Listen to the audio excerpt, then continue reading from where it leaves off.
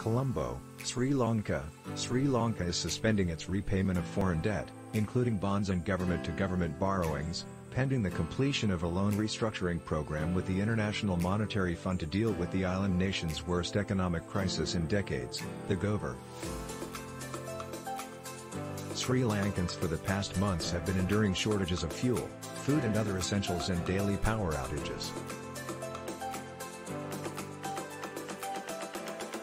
Most of those items are paid for in hard currency, but Sri Lanka is on the brink of bankruptcy, saddled with dwindling foreign reserves and $25 billion in foreign debt.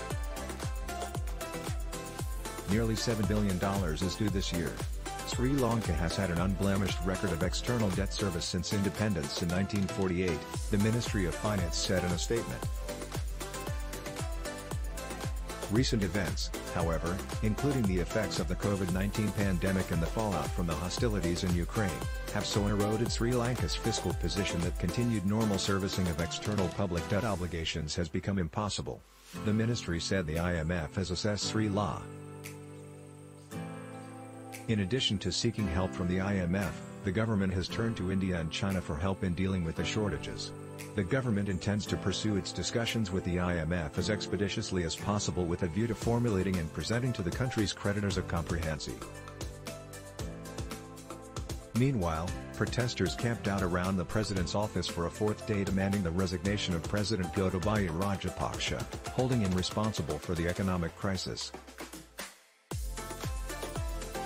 Supporters of the protesters supplied drinking water and food, and Muslim protesters broke their Ramadan fasting at the site to share food with those around them. Much of the anger expressed in weeks of protests has been directed at the Rajapaksa family, which been in power for most of the past two decades.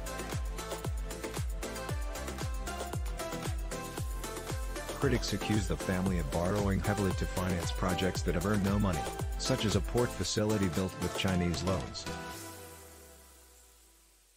Prime Minister Mahinda Rajapaksa, a former president who is the current president's older brother, sought in a speech Monday night to reassure people that the government is working on resolving the problems. We are embarking on an enormous program to overcome the crisis we face today. Every second spent by the president and this government is used up exhausting avenues to rebuild our country, he said.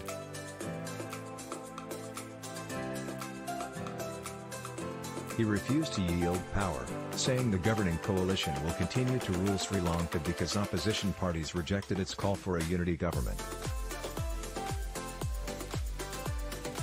The crisis and protests prompted many cabinet members to resign. Four ministers were sworn in as caretakers, but many of the key portfolios are vacant.